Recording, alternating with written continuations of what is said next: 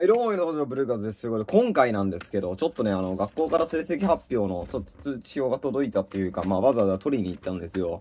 あのね、僕ね、学校に行くまでめっちゃ長くて、俺学校に行くのに1時間30分くらいかかるのよ。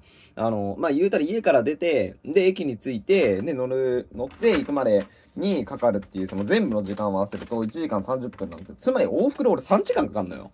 で、まあその成績発表のためだけに学校行ってきて、で、まあ言うたら、もう成績発表だけだから、やることねえじゃん。だからなんかとりあえず先生がなんか変なペチャクチャペチャクチャ喋ってて、でなんかアンケート取らされて、あと成績発表のね、え紙だけ渡されて帰ってきたんですけど、まだね、まあ友達がいて、カラオケ行くついでみたいな感じで成績発表がありますよ。で、それで、なんかこう取りに行きますよだったらまだいいんだよ。そういうのも別にあるわけじゃねえから、ただただストレス3時間わざわざ行って、マック食って帰ってきたっていうね、えー、気分最悪なわけですけど、えー、前期の成績発表のやつでですね、えー、まず、えー、まあその、取んなくちゃいけない、その、まあななんかプロジェクトみたいなのがあって、まあうちの学校専門学校なんでそういうのがあるんですけど、まあそれが一応単位全部取れてると。はい、ちゃんと全部取れてて、えー、評価が A というね。はい。成績発表のやつが、評価があって、A, B, C, D, F ってあるんですよ。F だともう単位落としちゃって、じゃあ補修課題が出てるからそれをやんなくちゃいけないっていう状況なんですよね。えー、で、A が、えー、一つですね。A、え、二つかな ?A 二つだね。うん。なんか全部、出席率全部100あるんだよね。これすげえな。えー、映像編集っていう授業がありまして、それがですね、出席率が100です。すごいね。俺100で出るやつあるんだけど、めちゃくちゃすごいじゃん。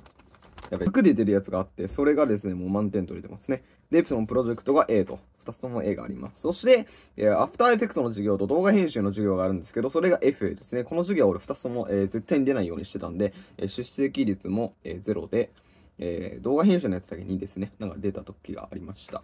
動画編集基礎ですね。えー、映像編集か映像編集基礎の1ってやつがあるんですけど、それは出席率数が16で、出席に、えー、率数が53.3%しかないんで、でも成績89%取ってるんですよ。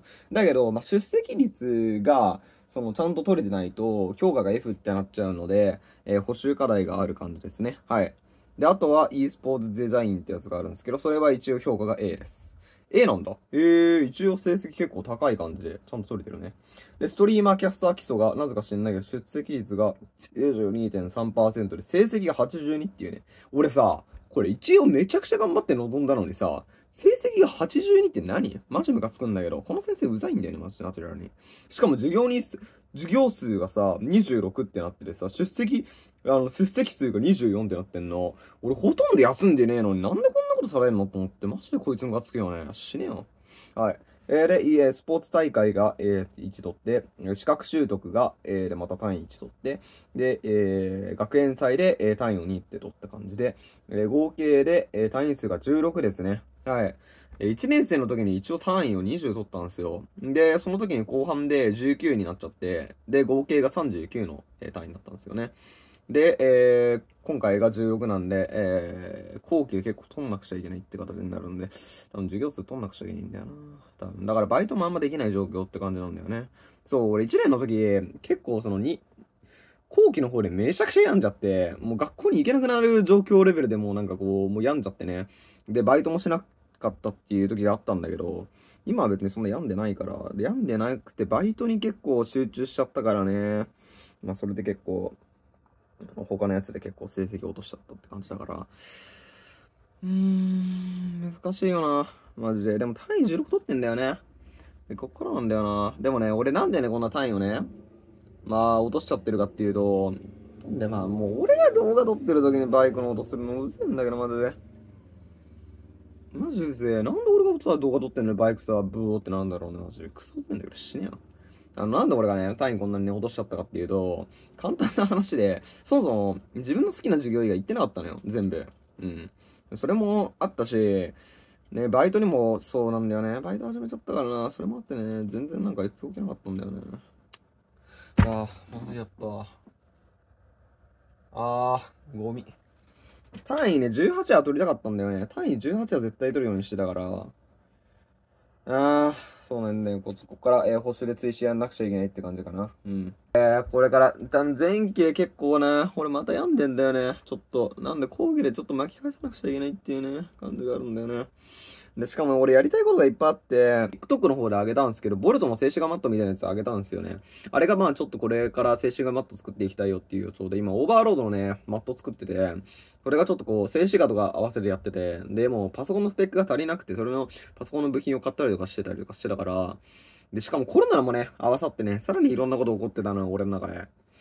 結構ね、最悪な時期だったんだよね。で、秋休み中に、ちょっとこう、作品を作りたくて、短編映画みたいなやつを作って、YouTube にアップロードしようとしてたんだけど、それもできてないっていう状況だから、自分のやりたいことが何一つもできてないっていうね、最悪な状況なんだよね。で、そのくせにバイトは週5でぶち込まれてるっていうね。そう、お前頑張れよって言われるかもしれないけどね、そんなに俺頑張れなくて、しかも最近、マジで頭おかしいな。もう睡眠がね、おかしいんだから、もうだから俺バイト帰ってきて、もう疲れちゃって、11時ぐらいにはもう寝ちゃってんで、だから、俺、歯磨かないでも気絶するようになんか大体寝てるみたいなことが、たびたびあって最近。なんかもう体が限界なんだろうね。コロナのまだ後遺症も残ってるんで、そんなにこうすぐに朝起きてなんかするってことができなくて、大体目が5時ぐらいに覚めちゃうのかな。最近5時とか6時ぐらいに目覚めちゃうんで、で、それでやろうと思ってんすけど、やれないっていう。結構やばいんですよね。なんか、自分の心は多分大丈夫なんですよ。心は大丈夫なんですけど、体が動いてくんないっていう、その、脳が動いてるんですけど、体がもうついてきてくれないんですよね。なんでちょっともう本当にそういう部分があってなかなかきつい状況なんですけど、だけどやりたいことはね、やっぱやっていきたいからね。ちょっとこれからは頑張ってちょっともうちょっと単位取ろうかなって感じですね。マジだれ。はい。で、これこんな感じです。まあね、おめえの成績発表なんてどうでもいいよって思うかもしんねえけど、こうやってね、落ち込んでるやつのことを見てね、少しは皆さんもね、えー、気力を取り戻してほしいなって思います。ということで、バイバイ。